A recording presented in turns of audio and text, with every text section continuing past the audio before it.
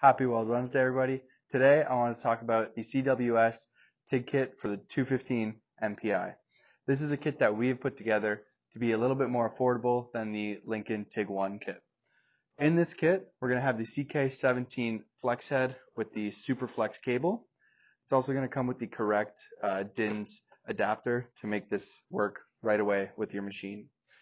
Also comes with the AK3 accessory kit from CK Worldwide and a SCC Controls foot pedal. You can get all this as well as any other welding supply that you may need in store or online at canadaweldingsupply.ca.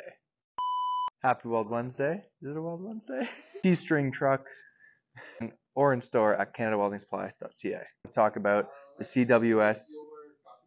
Is the mic still on? Hold, keep together now. Happy Weld Wednesday. I didn't even start talking yet.